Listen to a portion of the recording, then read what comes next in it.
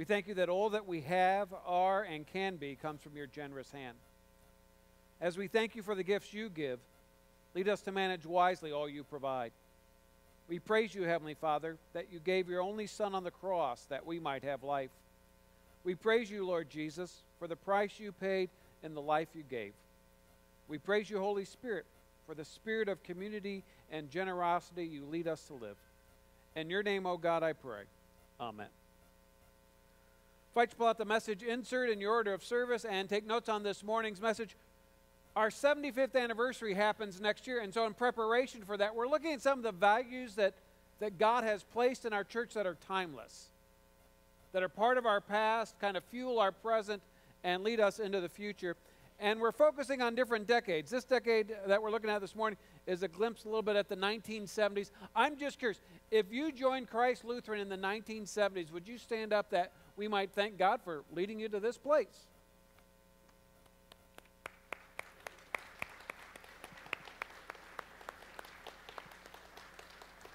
Thank you. You may be seated. Thank you very much. David writes these words in 2 Chronicles 29, verses 14 through 16. But who am I and who are my people that we should be able to give as generously as this? Everything comes from you, and we have given you only what comes from your hand. We are aliens and strangers in your sight, as were all our forefathers. Our days on earth are like a shadow without hope. O Lord our God, as for all this abundance that we have provided for building you a temple for your holy name, it comes from your hand, and all of it belongs to you. One of my favorite events at Christ Lutheran is at Thanksgiving when we kind of cover the front with food. People bring financial gifts, but, but they bring non perishable food items to, to help people in our community.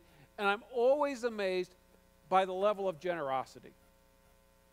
I never knew how to describe that until I heard a podcast by a Christian comedian named Michael Jr. And Michael Jr. was speaking at a church and he got serious for a moment and he used this word communerosity. He said it's community plus generosity equals communerosity. So, what is communerosity? Communerosity is a generous attitude that combines with generous actions to create for community. It invests in community. And this morning, that's what we're going to look at. How, how do we move to communerosity? How, how do we cultivate a spirit of generosity that impacts the lives of other people? During the 1970s, we tapped once again into the timeless value of community through generosity. We moved our bell tower. So here's a picture. So if you look at your bulletin cover, somebody asked me the first Sunday they saw that, they go, Hey, I'm trying to figure out where the bell tower is in this picture and how that works. Well, it used to be like back here, and then it got moved up there in various pieces. And then the whole courtyard area and modern classrooms were added to the school back in the 70s that we wanted to build community.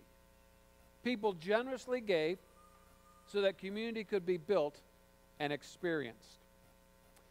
And as we dig into God's Word today, we're going to look at the three lessons that were read earlier. They each speak of, of some aspect of generosity that builds community.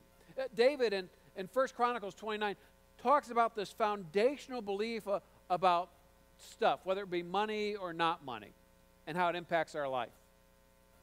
Paul talks about the importance of how to excel in, in this gift of giving, and this grace of giving is the phrase he uses. And then Jesus kind of brings in a divine perspective of how generosity impacts our heart. And that all kinds of moves to kind of who we are. So, why concern over communerosity? We live in a country that's dealing with division in community. From racial tensions to political candidates to moral issues, it feels at times there's more that divides us than unites us. And our community needs us to be generous. Here's another little secret you and I need to be generous. It, it shapes our hearts. It shapes our hearts with the joy that God gives. And it leads us to live that kind of life that God's invited us to live. Moving to communerosity is an invitation to, to, to make a difference, to change a home, to change a neighborhood, change a church, change a community, change a country, change our world. Now, I, I know what some of you are thinking at this point. Oh, this is the money talk. Why, why did I come today? Okay, between you and me, I bet you spent money this week. Money's part of life. And the Bible's about life. But if you think generosity only involves money, you're, you're missing the whole other side of generosity. So we're going to look at money, because that's part of it. But we're going to look at what's not money, because that's part of it too. And God's concerned about both. In fact, God's concerned not only about what we give with our money and our time and our abilities, God's concerned about what we keep and, and how we use that as well. And, and looking at these three lessons that were read earlier, it weaves together this idea that, that God, God has made us to be like Him. God wants you and me to, to know the joy of generosity and how living out that joy can change a community. Let's start with David's observation here. That why he gives to build the temple. Uh, look what it says here in 1 Chronicles 29, verse 12. Wealth and honor come from you. You are the ruler of all things. In your hands are strength and power to exalt and give strength to all. Turns out David didn't build the temple, but he gave the financial gift that was the major funding for the temple. His son Solomon will build the temple. But David gives extremely generously. Dave Ramsey, who's like a financial guru, he's got Financial Peace University. Uh, he actually sat down and figured out what in today's dollars David's gift would add up to. So tell the person beside you what you think the amount in today's dollars would be of the financial gift that King David made to build the temple back then. Go ahead and give him a, a dollar figure.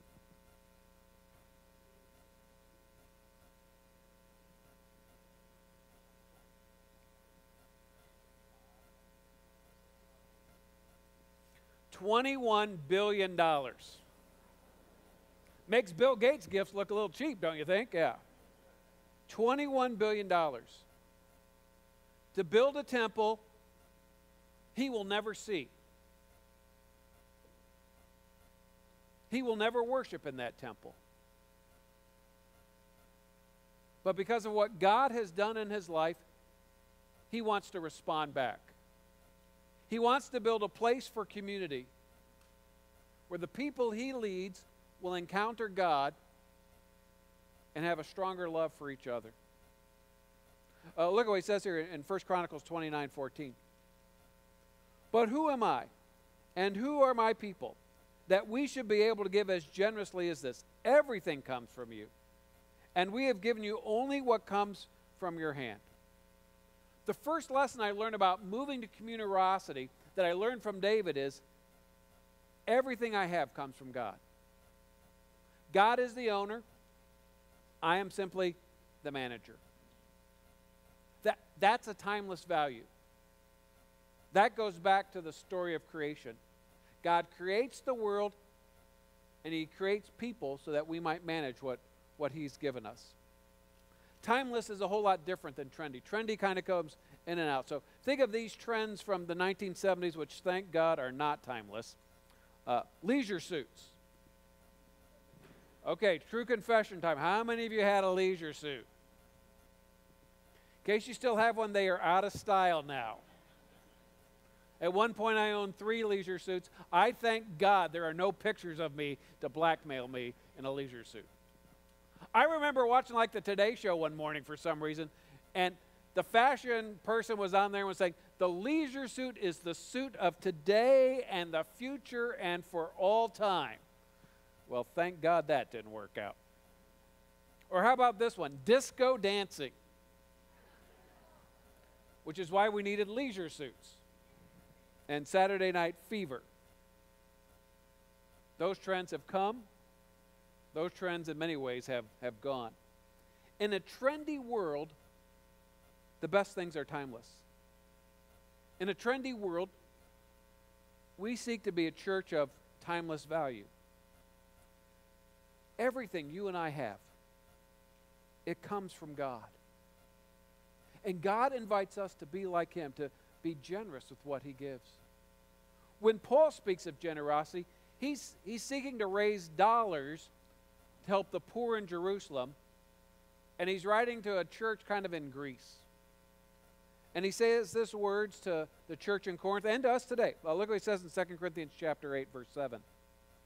But just as you excel in everything, in faith, in speech, in knowledge, in complete earnestness, and in your love for us, see that you excel in this grace of giving.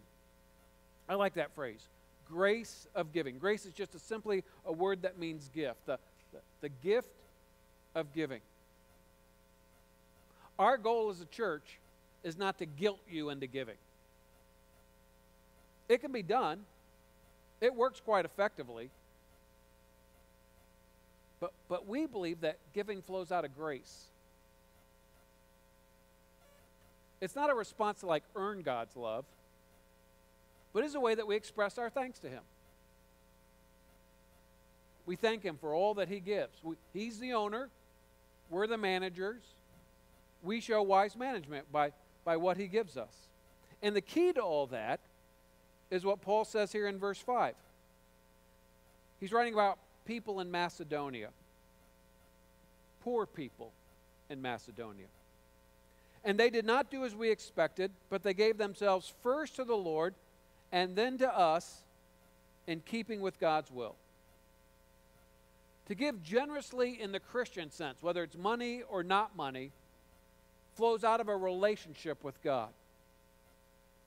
When we look at moving to community, Paul teaches this lesson, it's the second lesson.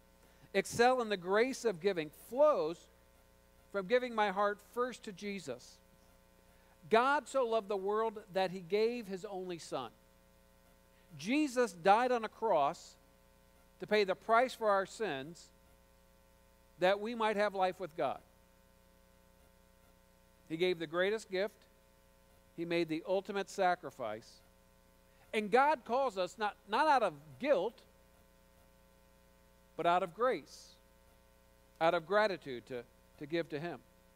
And yeah, that involves money, but that also involves not money. Are you generous with your finances? But are you generous with your faith? Odds are one of the first words you ever said, probably one of the first 10 words, was mine. Just, just try. My granddaughter's not talking yet, but I'm guessing this is going to be in her skill set. You take your kids out for lunch. They have french fries. You don't. You, you just want one. You reach over and they go, mine. You didn't pay for that. Owners and managers. But by our sinful nature, I'll just speak for myself. I'm greedy.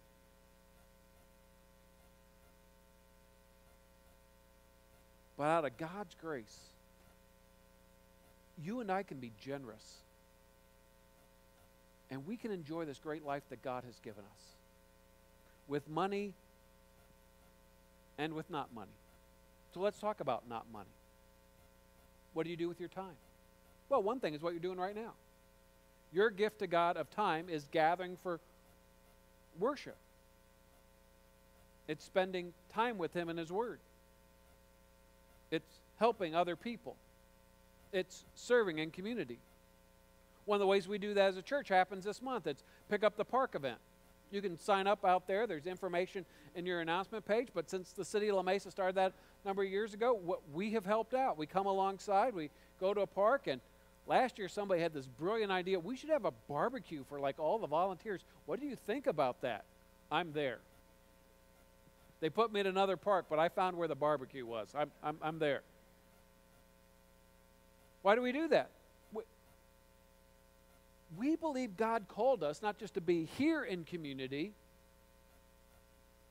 but to be in our community, building community.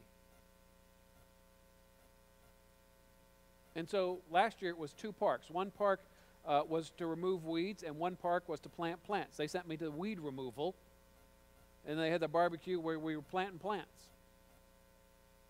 You, you go where your gifts are. You use the abilities God has given you. One path of generosity with not money is it's the reason why we do the Grow Pray study guide. So if you look at like pages three and four each week, you'll you'll see that there's opportunity to spend time in God's Word that's based on the message this week. And um, if you look at Wednesday, Wednesday this week provides an opportunity to read that verse 7 from 2 Corinthians 8. But also to kind of see where I used to think that the difference was either you're a giver or you're not a giver, but, but to become generous, there's typically some steps that you follow. It's not like I was not giving and all of a sudden I woke up generous. There's typically some steps you follow to grow in that. And so we're going to walk through these four steps, and you'll have an opportunity on Wednesday, if not sooner, to reflect on that. Uh, step one become a first time giver. If you want to excel in the grace of giving, well, you start by becoming a first time giver. John D. Rockefeller gave away millions of dollars. He was asked how he was able to give away that much money. He said, I could never have given away millions of dollars if I hadn't given away the first dollar. So if you've never made a financial gift in, in a church, That this is your opportunity. You can do that. This, if you forgot, you can always go online at christlamesa.org and give there. What about not money, though? Well, maybe you know a friend that's going through a difficult time. You call them up. You ask to go visit. And maybe instead of always telling your story, you listen to their story. You hear what, what they're going through. You spend time with them. But the first step to generosity is to become a first time giver. Maybe it's in your home. Maybe you have chores that you're supposed to do, but the first step is you do something you're not required to do, but you know needs to be done. You will shock your family and put a smile on God's face. Here's the second step. So, the first step is you give the first time, but the second step is you become a regular giver. Uh, most people feel generous. They're, they're, they're, kind of moved by emotion. That, that's why they give the first time. Uh, we exhibit this at Christmas. We, we give to build a, a house, for example, with Amor in Mexico. At Christmas and Easter, uh, we now give our offerings away on both of those events to causes in our world and community that are outside our congregation. We give to make a difference out there. And one of them is, is building homes in Mexico. And so people are moved by, by that cause. Their heart is touched and they respond. And maybe that's how you became a first time giver. Becoming a regular giver says something like this with money. It says, when, when I get paid, whether that's like weekly, twice a month, or once a month, I, I give that to God first. I give a portion of that back to God, thanking Him for the work He gave me to do and for the income He provided. But Maybe with the not money stuff, it's just saying, okay, God, I'm going to give you worship time each weekend. I'm going to build time with you each weekend. I'm going to be intentional about serving an area. I'm going to put it in my calendar. Again, it, it, it should happen just as life unfolds, but there is something about marking it in your calendar, of setting aside specific time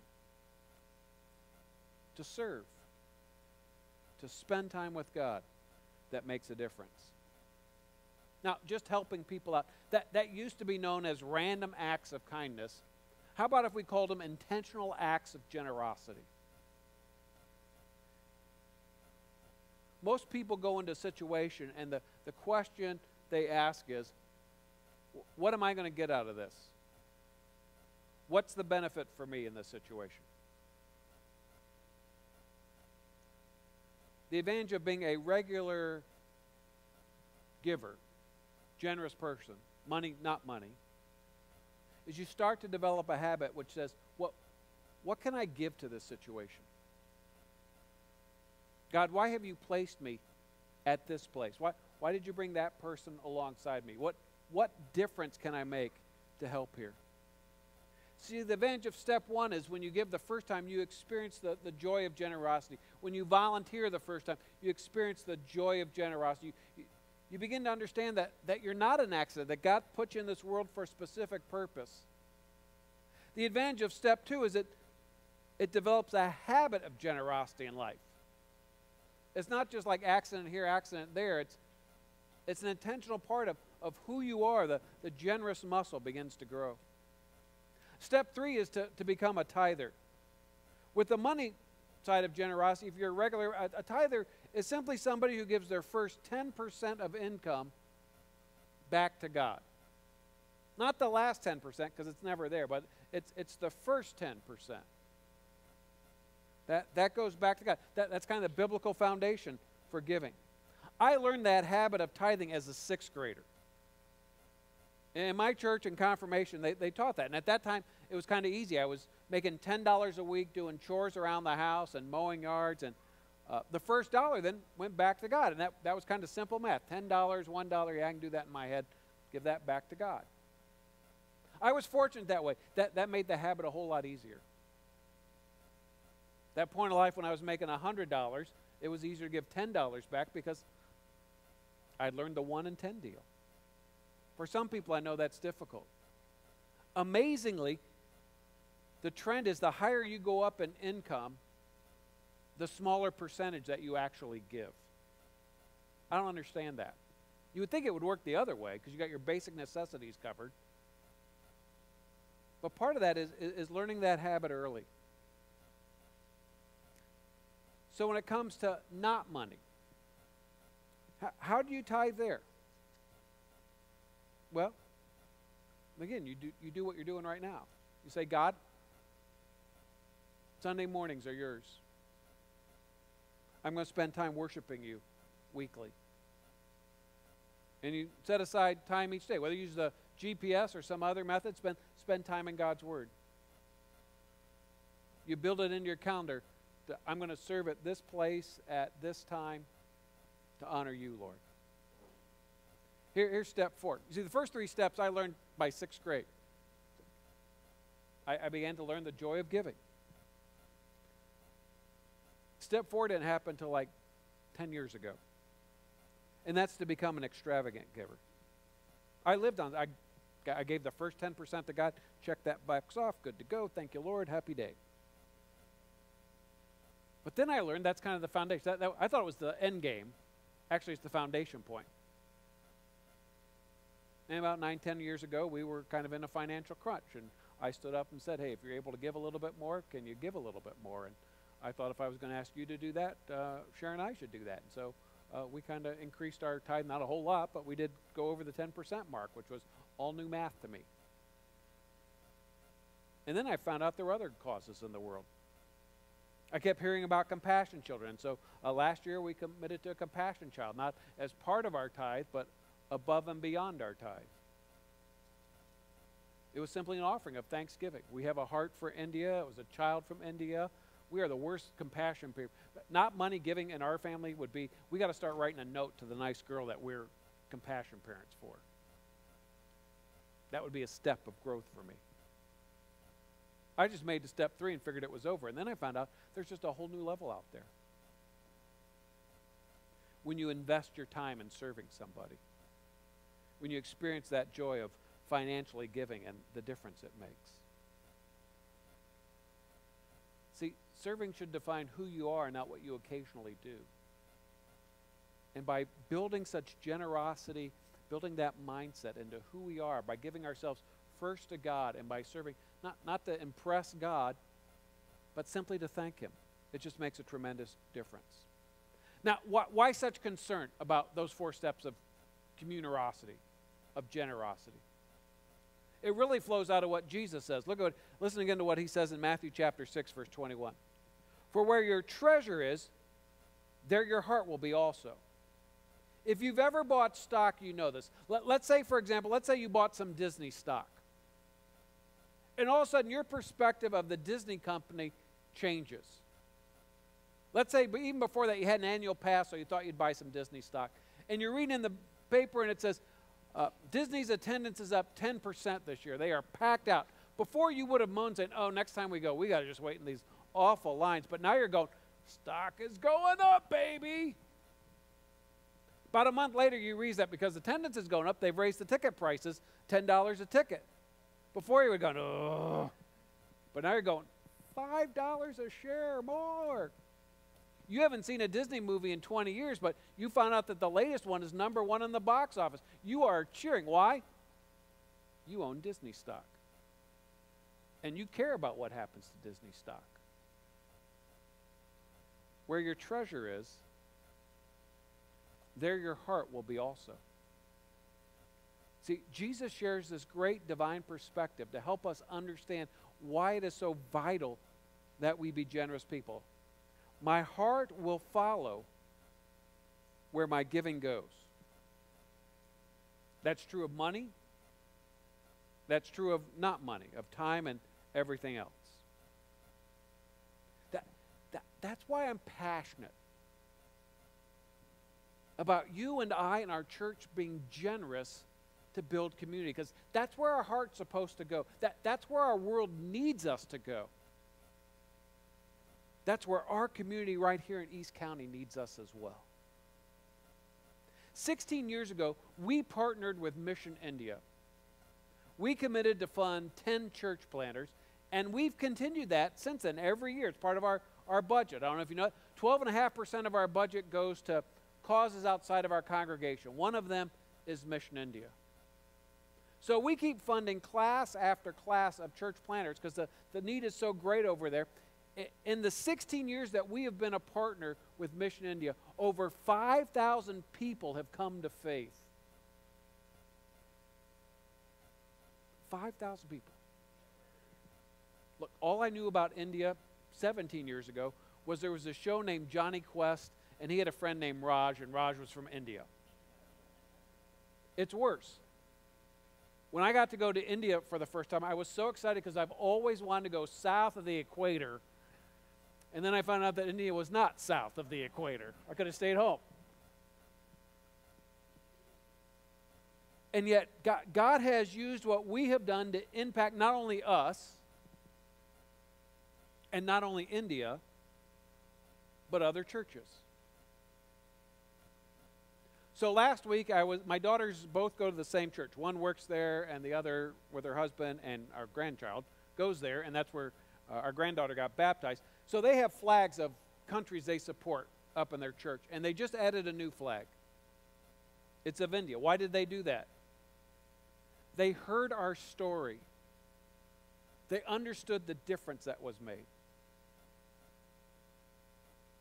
Where our heart has gone, it has led other people to follow.